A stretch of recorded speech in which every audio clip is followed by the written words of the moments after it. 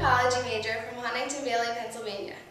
While at Widener, I got to experience many things like rugby and alternative spring break. But one of the most unforgettable experiences I had was studying abroad in Dublin, Ireland, at the Irish American University.